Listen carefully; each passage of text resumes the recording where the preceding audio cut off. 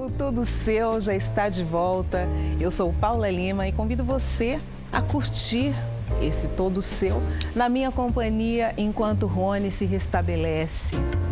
O que será que é preciso para fazer a diferença na vida de alguém? Fazer o bem pode começar com mais calor humano, dentro de um abraço. Vamos conhecer um projeto maravilhoso na presença da diretora do projeto Abraço, a Elisa Toda. Seja bem-vinda, Elisa. Que prazer ter você aqui. Me dá essa mão de novo, essa mão boa, do bem. Muito legal. Eu que agradeço a oportunidade. É, boa noite. É, eu vou aproveitar esse momento para desejar uma ótima recuperação para o Rony e tenho certeza que você está sendo muito bem representado ah, por essa beldade. Que linda! Rony, mais e mais e mais amor forever, é isso. Elisa, fazer o bem é tão bom, tão, tão importante e transformador. E você já está há quase 10 anos né, envolvida no abraço. Qual o propósito do projeto? O propósito do projeto Abraço principal é de engajar pessoas, envolver pessoas para o trabalho voluntário. E como nós fazemos isso? Nós é, atuamos em ações pontuais das instituições, é, eventos, né? E também é, fazemos ações como campanha do agasalho, é, Lacres do Bem, que nós mobilizamos um, um pessoal para juntar lacres. Nós ajudamos é, a Fabiana, que é, um, é uma pessoa que necessitou de próteses, é, de braços e pernas. E, enfim, por causa desse movimento, nós conseguimos engajar mais pessoas para o projeto Abraço. É, também fazemos algumas ações, como por exemplo a Domingueira do Bem, que nós fazemos uma parceria com a Overnight, que ela, é, nós fazemos um, uma balada para a família, é, também pode levar crianças.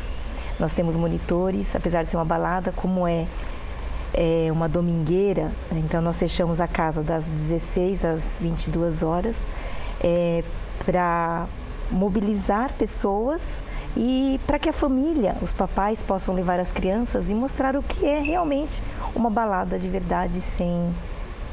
Quando acontece essa balada?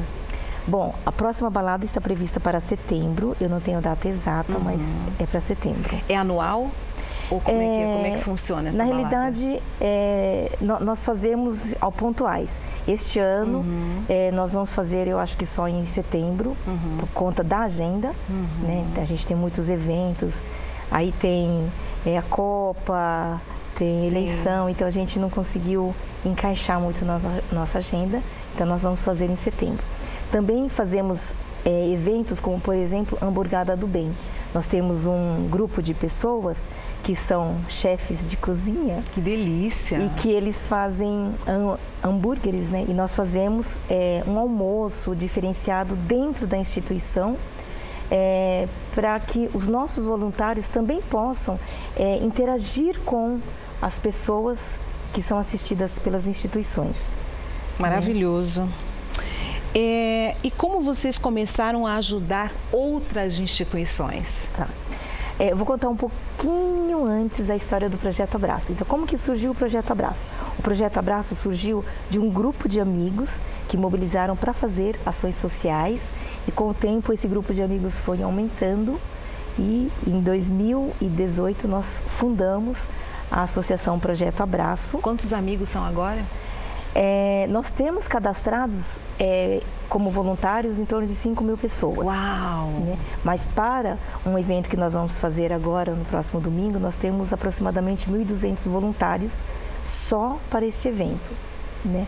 E Domingo agora? Domingo agora, dia 1 Dia 1 vai ser aonde? Vai ser no Colégio Marista Arquidiocesano, hum. que é é, próximo ao metrô Santa Cruz. Uhum. Né? Nós vamos fazer um evento. Na Domingos de Moraes, Na né? Domingos de Moraes. Só que a entrada é numa rua é, do lado que chama Lo Loefgren. Alguns falam Loefgren, outros é. falam, falam Lofgren. Uhum. Número 1048. Tá? O evento é do meio-dia às 20 horas. Tá? É um evento temático Tá? É, esse evento, é, nós nomeamos ele de Abraçolândia. Tá? É, nós fazemos um evento com temáticos, né? inspirado em, em, em temas lúdicos, para que nós possamos é, trazer à tona a nossa criança interior. E qual é o né? tema desse domingo? O tema desse domingo chama-se Magias e Feitiços do Abraço, tá? Uhum. É, eu falo que nós é, mobilizamos é, dentro do grupo né, a magia e o que a gente faz né, de feitiços para que a coisa possa acontecer e para ajudar pessoas e instituições. Entendi. É, essa ajuda, é, vocês, é, porque tudo ali são pessoas que frequentam este lugar e se divertem e através de bebidas e comidas e tal, elas participam financeiramente. Isso. E aí essa, vocês repassam isso para essas outras instituições e são sempre com esses eventos, através desses eventos é que é feito esse, esse, essa ajuda? Sim.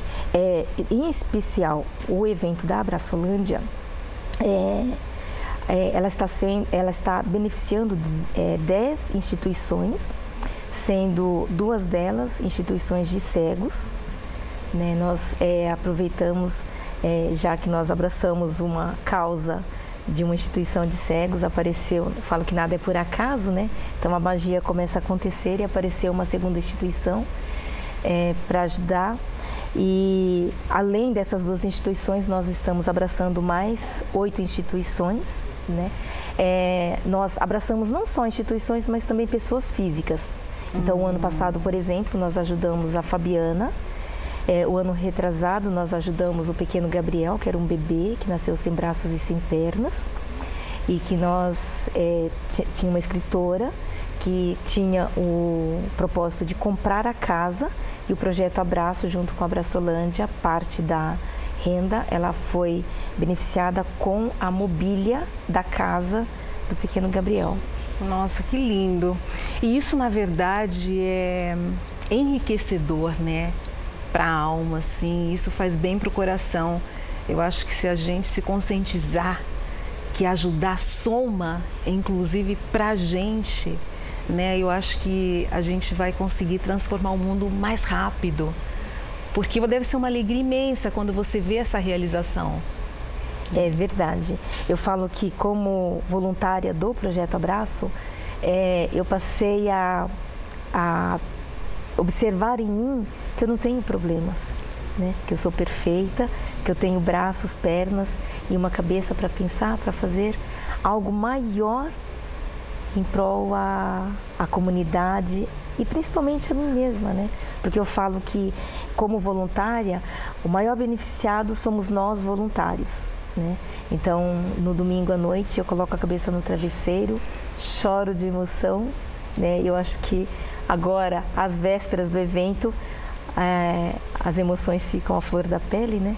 Mas no domingo, depois que o evento acaba, que a gente desmonta, entrega o colégio do jeito que nós recebemos, né?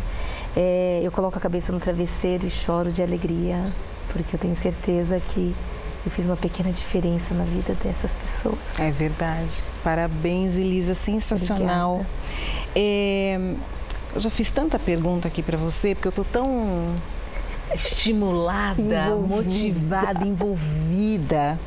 Eu queria saber o seguinte: é, como é que, a, a partir desses eventos, é, como você estimula a solidariedade? Você acha que isso que você sente, esse número de voluntários tem aumentado justamente por conta desse estímulo, né, dessa diferença? Eu acho que sim, viu, Paula? É, eu falo que quando nós é, mobilizamos pessoas em prol a ajudar pessoas, nós engajamos mais pessoas, né? E você, eu acho que é eu tenho tudo a ver. tudo. Quando me falaram que era você, eu fiquei. Eu tenho tudo a ver com isso. Eu vou abraçar tudo isso, Elisa. Vai me fazer, vai ser um presente para mim. Tenho certeza que sim. É, e mais do que isso, né? Eu acho que quando a gente começa a ajudar pessoas, a gente é, traz não só pessoas, como também nós, é, o universo traz também mais pessoas para nós ajudarmos né? Uhum. Então, é, se a gente for contabilizar o quanto de pessoas que nós ajudamos, eu vou dizer para você que eu não tenho a conta, tá? Uau!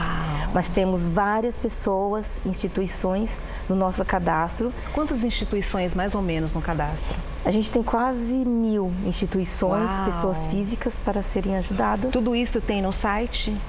É, não, no nosso site, que é o www.projetoabraco.org.br, uhum. é, nós, é, a, é, a, instituição ou as pessoas podem se cadastrar uhum. né, para serem ajudadas.